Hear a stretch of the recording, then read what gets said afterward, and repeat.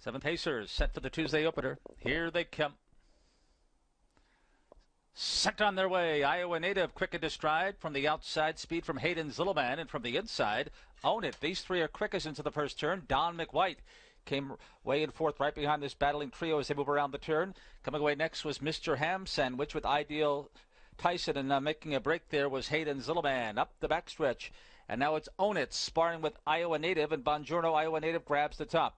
Back in third is Don McWhite, two clear of Mr. Ham Sandwich, who's about five and a half lengths from the lead and two and a half in front of Ideal Tyson Hayden's Hayden Zillman. And seventh to last is two max one shadow. They step past the opening quarter over the good going, 27 and two. Iowa native at three to one opens the lead up to two and a half over Own It. Don McWhite, the favorites on hold by George Brennan. Mr. Ham Sandwich will come from just off the pace, getting some support here at 9 to 2, is five and a half lengths for the lead as they make the way to the half mile here in the opener.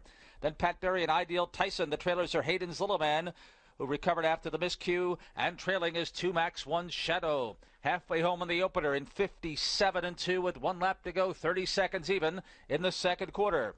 It remains Iowa native leading it over Own It. Don McWhite ready to move from third. Don McWhite looking to make it two in a row. He's in the clear.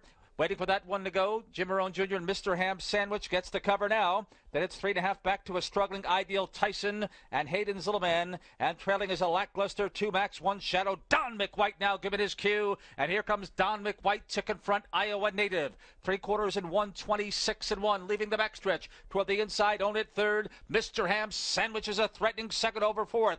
Coming to the top of the stretch, and Don McWhite is taking the lead. Iowa native, nothing more to give. Between horses, Own it third. Spinning out of the far outside is Mr. Ham Sandwich. Brennan trying to get Don McWhite home, but here's Mr. Ham Sandwich. Mr. Ham Sandwich, the strong horse taking over.